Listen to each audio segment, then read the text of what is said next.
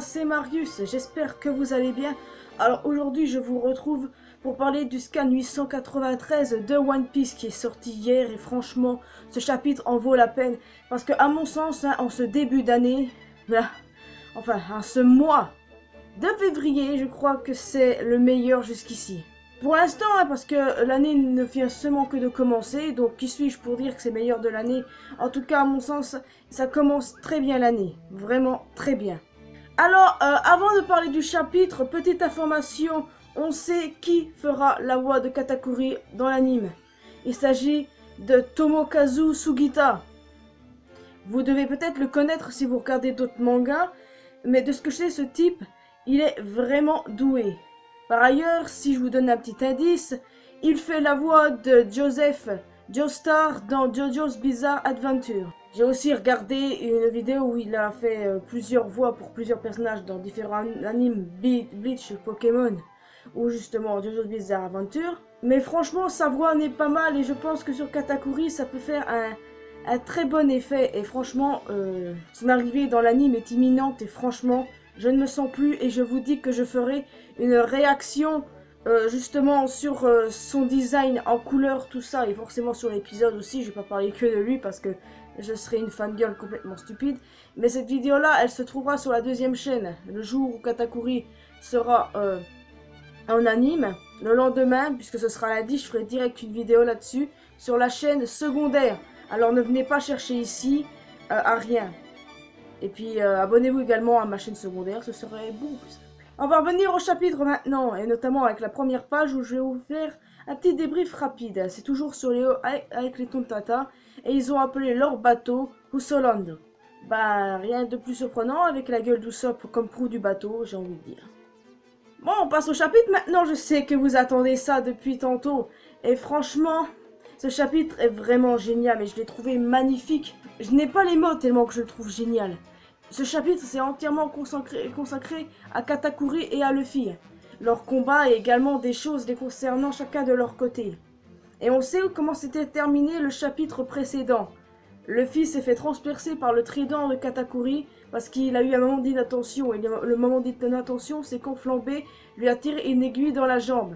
Et ça, justement, ça a fait perdre totalement la défense de Luffy qui s'est laissé faire, qui n'arrivait plus à se défendre. Katakuri, c'est normal qu'elle a profité d'utiliser son trident pour pouvoir le transpercer. Seulement, même Katakuri ne s'est pas rendu compte que euh, Luffy a été visé par sa sœur et que c'est pour ça qu'il l'a attaqué. Il se demande même ce qui se passe. Genre Katakuri s'inquiète, donc c'est vous dire. Hein. Et je sais pas vous, mais moi je pense qu'il tombe complètement in love de Luffy. Je sais pas. ce serait ouf quand même. Mais bon, je suis pas là pour parler de ça, mais ce serait ouf. Bon, et puis fils se souvient de quelque chose qui s'est passé pendant l'ellipse des deux ans avec Rayleigh. Rayleigh qui l'entraînait justement à, à utiliser le acquis de l'observation, même les yeux bandés. Les yeux fermés, les yeux bandés, tout ça. Pour que Luffy, il sache bien quand un ennemi l'attaque. Et bah justement, il a réussi à deviner que, que Flambé allait leur attaquer à nouveau encore avec ses aiguilles de merde. Alors bon, euh, celle-là, elle m'énerve vraiment. Parce que non seulement elle interfère dans un combat, et en plus elle fait sa maligne. Ah non, mais ça je n'aime pas. Et franchement, je peux vous dire que je déteste cette fille. parce que cette fille a un vrai problème. Mais un vrai problème, c'est ultra flippant. Son amour malsain pour son frère. C'est limite incestueux. C'est gênant et flippant. Elle se fait des films. Vraiment, mais et même Katakuri s'en est rendu compte, il a vu que Flambé avait voulu tirer sur Luffy. Seulement Luffy, bien sûr, il a évité. Et après Katakuri, il faut bien se douter qu'il a été complètement vénère. Complètement que... Il s'est dressé devant Flambé en lui disant de ne pas interférer. Et le truc, c'est qu'il s'est lui-même euh, transpercé avec son propre trident. Et honnêtement, mon, mon gars, ça m'a surprise. Comme je ne sais pas quoi. Euh, là, j'ai peut-être pas l'air surprise parce que c'est normal, le chapitre est passé, euh, voilà, c'est pour ça. Mais j'ai été surprise dans le sens que... Mais qu'est-ce qu'il fait là? C'est là également où Luffy a reçu le coup. Oh, ouais, ça nous prouve que Katakuri, il veut euh, être égal à Luffy dans ce combat, et donc c'est pour ça. Et ensuite, quelque chose auquel je ne m'attendais pas, c'est qu'il montre son visage, c'est-à-dire ses dents, tout ça, à, Flambé et lui dit de ne plus jamais interférer dans un combat d'hommes. D'un côté, c'est vrai, mais d'un côté, je trouve ça ultra mais chelou qu'il ait montré euh, le visage qu'il tentait de cacher depuis, euh, depuis le chapitre 883. Là où on a vu euh, à quoi il ressemblait pour de vrai. Et il ne voulait que personne ne voit à quoi il ressemble. Il a même tué des chefs cuisiniers pour ça. Parce qu'il avait vu à quoi il ressemblait. Mais là, non. Il montre son visage à Flambé et également au type qui l'accompagne. C'est assez surprenant qu'il fasse ça, je vous jure. J'ai été surprise. J'ai pas trouvé le personnage illogique, bien au contraire, mais je veux bien croire que que peut-être euh, il s'en fiche maintenant parce que le fil a vu, le film l'a pas jugé, donc il le montre. Je sais pas. C'est quand même bizarre. À un moment, il a dit un truc de ouf. Je ne pourrais pas vous dire la réplique euh, complète, mais en gros, ça veut dire tu te moques de lui, alors moque-toi de moi aussi. Quel homme Quel homme Il veut pas que Flambé se moque de Luffy euh, et, pas de lui pour, que tout soit égal. C'est... Franchement, mais Katakuri, quel homme Mais... Mais... Bon Faut s'attendre également à la réaction de Flambé. Comment elle a réagi d'après vous? Vous avez vu le chapitre, vous le savez Elle a complètement paniqué et elle l'a insulté de monstre. Je m'attendais vraiment à cette réaction. Je veux dire, je savais que Katakuri ferait quelque chose avec Flambé, qu'il la calmerait, mais je ne pensais pas qu'il allait lui montrer ses dents, comme je vous l'ai dit tout à l'heure. Mais, mais là, le fait qu'elle réagisse comme ça, ça, c'était sûr. Parce que cette fille est complètement immature, complètement stupide. Et d'ailleurs, si on réfléchit bien Flambé, un petit détail sur elle. Vous trouvez pas que Flambé est une très bonne représentation des fans cons qu'il y a partout concernant One Piece Des fans qui gueulent ou, qui se moquent Je crois qu'Oda se fout de la gueule de tous les fans là qui sont pas jamais contents ou que... Ah, c'est à mon avis ça, et je reviendrai sur les fans qui sont pas contents tout à l'heure. Il faut que je termine d'abord mon débrief sur Katakuri. Mais euh, faut savoir que si Oda fait ça, c'est qu'il est fort. Hein. Au départ, la personne aime un personnage et qu'après quand on trouve euh, qu'on connaît suffisamment, on se met à détester. Exactement comme la fanbase des cons. Exactement.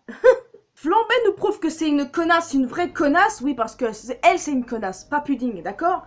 Euh, Flambé est une véritable connasse puisqu'elle incite sa bande de branleurs à prendre Katakuri en photo. Ah. Et puis de dire tout ça, mais non, mais ça, c'est pas possible. Le pauvre, en fait, il, s'en fiche, il n'écoute pas, il sourit même, et au fond, il doit être blessé. Et on a eu même un, petit, un petit tout minuscule flashback sur son passé où il se fait insulter de poisson ogre.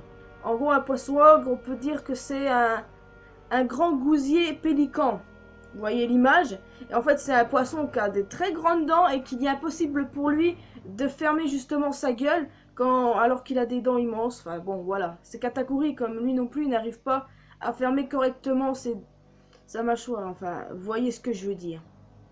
Certains ont spéculé que ça pouvait être son espèce qui vient des hommes poissons, tout ça.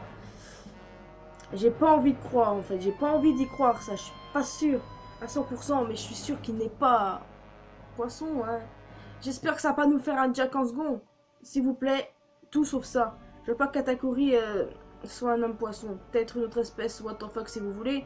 Mais comme je l'ai déjà dit dans une euh, théorie sur lui, sur son père, je pense que lui, Daifuki et Owen, comme ils sont triplés, ont le même père et que c'est juste un défaut qu'il a eu à la naissance. Simplement. Et je resterai là-dessus jusqu'à ce que le maître nous dise le contraire. Je veux voir un flashback entier sur Katakuri, vu comme ça, c'est bien parti. Et parce que si on ne vient voir que ça, je serais un peu déçu, mais bon, voilà. Ça peut faire peut-être un truc à la pudding. Peut-être selon vous. Vous serez peut-être déçu si ça fait un truc à la pudding, non? Moi pas. Parce que je suis sûr que certains enfants de Big Mom ont souffert dans leur enfance à cause d'un défaut qu'ils ont eu. À votre avis, pourquoi est-ce que Cracker déteste tant la douleur? D'ailleurs, faudra que je fasse une théorie là-dessus. J'ai tellement de théories en approche, bordel Et en plus, avec d'autres trucs, que ça va être compliqué pour moi. Alors, bon, voilà. N'empêche qu'après, Luffy et Katakuri se refont face, prêts à continuer leur combat.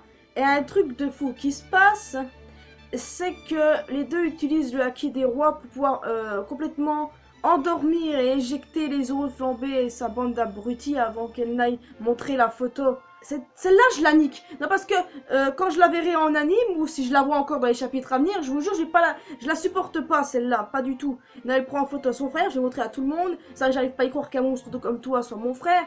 Elle m'énerve, je vais pas revenir sur elle parce qu'elle me gonfle. Bref, quand je disais qu'ils ont utilisé tous les deux le hacker des rois, je suis sûr que c'est les deux. Puisqu'ils parlent chacun leur tour, et je suis 100% sûr que les deux l'utilisent. Certains disent qu'il n'y a que Luffy qui l'utilise, d'autres disent qu'il n'y a que Katakuri qui l'utilise, et encore d'autres disent que c'est les deux qui l'utilisent. Moi je pense que c'est les deux, mais si vous pensez que c'est l'un ou l'autre, dites-le moi, et si vous pensez euh, m'éclaircir c'est quelque chose, dites-le moi aussi, mais je reste convaincu que c'est les deux qui ont utilisé le haki.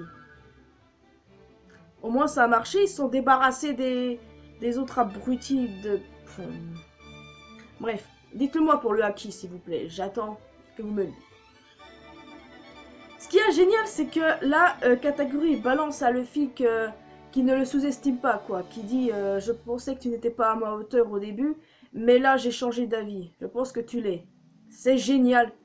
Katakuri voit Luffy comme un adversaire à sa taille. Il l'estime beaucoup et c'est vraiment génial. Et après, le truc de fou, c'est que quand il enlève son blouson, il a, un corps magnifique. Mais je te jure, c'est un truc de fangirl. Mais, je vous jure, je me sentais plus. il est si... Son corps est magnifique. Il, est beau comme un dieu, mais il a un corps... Je vais, arrêter de baver sur un personnage de manga. Mais c'est pas ma faute Parce que beaucoup de gens n'arrivent pas à concevoir que, que je sois fan de One Piece, par exemple. Parce que quoi, je suis une fille C'est quoi ce racisme? Enfin, ce sexisme, à l'occurrence. Je vous disais que Katakuri n'était pas un personnage comme les autres. Il n'est pas comme les adversaires que Luffy a affrontés par le passé. Pas comme des Doflamingo ou des crocodiles. Il n'est pas comme eux, il a quelque chose que les autres n'ont pas. Et je dis pas ça parce que c'est mon personnage préféré actuellement, je dis pas ça parce que c'est le personnage que je trouve le plus beau, le plus stylé du manga jusqu'à présent, même s'il y en a d'autres. Euh, je dis ça parce que je le pense. Et que euh, Oda, il l'a très bien, mais très bien construit son personnage, quoi à, aucun moment j'ai été déçu de la tournure euh, du personnage, que ce soit lors de son introduction ou que ce soit lors de la révélation de ses canines. Et encore plus là maintenant pour son sens de l'honneur et son respect pour Luffy. Est-ce que d'ailleurs Luffy partage le respect là pour Katakuri? Peut-être. Je m'attends à ce qu'il le dise. Mais peut-être que euh, Luffy respecte également Katakuri ce serait une bonne chose. Et franchement, moi, je pense sérieusement que Katakuri est complètement différent de tous les adversaires que Luffy a affrontés. Il a quelque chose qui dégage de différent. Et franchement, je ne suis pas déçu. Certains même, quelques-uns, pas tous heureusement, ne comprennent même pas la hype qu'il y a sur Katakuri, ne comprennent même pas ma propre hype pour lui. Non, juré Ce personnage est vraiment unique. Tellement unique, les gars.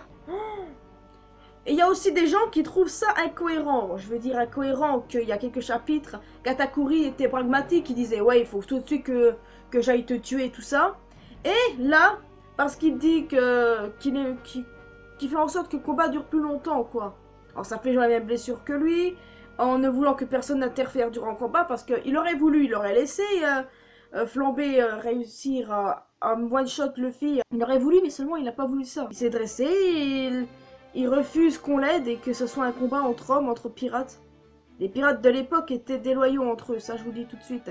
Je sais même pas s'il y en a qui éprouvaient du respect les uns pour les autres, mais là, on commandait dans One Piece, One Piece n'est pas différent de notre société. Ça nous montre que certaines personnes ont un passé triste et ils essayent de se relever et de se battre complètement les steaks, voilà, ça serait beaucoup mieux, de ce que les autres racontent. Euh, moi, je vois pas d'incohérence. On peut être pragmatique et avoir un sens de l'honneur hors norme. Ça, c'est sûr. Ça, j'en suis certaine. Et franchement, j'aime trop Katakuri et je ne vois aucune raison de le détester. Je pourrais pas ne pas l'aimer, mais franchement, je me demande pourquoi. Parce qu'il a autant de hype pour lui hmm? Bah écoutez, je sais qu'il y a beaucoup de hype, mais moi, je reste fan de lui. Et c'est tout Parce que j'ai hâte de le voir dans l'anime aussi. Il y a des gens qui n'ont pas aimé le chapitre. Je me demande pourquoi parce qu'ils disent que c'est incohérent. Ils sont toujours là en train de râler. C'est surtout les Français en fait. D'accord, ok. Vous pouvez avoir, euh, ne pas aimer certains détails, vous pouvez me dire de ne pas avoir aimé ce chapitre, mais vous êtes pas sérieux les gars Les Anglais, ils ont tous kiffé leur race Eh mais, oh, je vais devenir anglaise moi, oh Parfois les Français, ils me désespèrent. Bon, d'accord, vous n'avez peut-être pas aimé, mais écoutez un peu, un peu de respect pour, pour l'auteur. Euh, je respecte à 100% Oda, même si parfois euh, les choses traînent beaucoup, mais mais moi, j'adore toujours autant One Piece. Et en 20 ans, je n'ai jamais cessé d'être d'être à fond dedans, quoi. Parce que One Piece, c'est la vie. Et, peu importe ce qu'Oda te fait, mais moi, je kiffe toujours autant. Parce que Oda, il sait nous surprendre. Et là, il m'a vachement surprise. Quand Katakuri s'est transpercé lui-même, qui a montré un énorme sens de l'honneur, même si je savais déjà que cet homme était à part. Mais de fait que vous gueulez, que vous râliez tout le temps, mais je vais pas m'adresser... Euh, je vais pas dire à vous, mais je vais dire eux ça sera beaucoup mieux parce que j'ai pas envie que vous preniez pour vous si vous avez apprécié le chapitre parce que ce serait vraiment pas cool. Je suis désolée si vous l'avez pris pour vous alors que c'est même pas vrai si vous avez aimé le chapitre ou un petit peu. Mais ça, ça va encore. Hein. Ces genres de fans là, j'aimerais qu'ils fassent la même chose qu'Oda et qu'on en reparle après en fait. Parce que si on laisserait presque tous les fans euh, euh, faire l'œuvre d'Oda, il y aurait vraiment beaucoup de merde et d'incohérence. Là, c'est là qu'il y aurait de l'incohérence. Ok? Pas avec Oda. Sûrement pas avec lui. Non, parce que les gens comme ça, j'ai envie... Je, je, les rezimpe, hein, s'ils continuent. Franchement, hein. Certes, on a une opinion différente sur telle ou telle chose. Je respecte ça. Mais qu'à la longue, on nous dise, ouais, le combat est dur, il y en a marre. Et alors, s'il le fait durer, c'est pour une bonne raison. Pour nous faire douter sur, euh, la suite du combat. Pour nous faire douter de qui gagnera.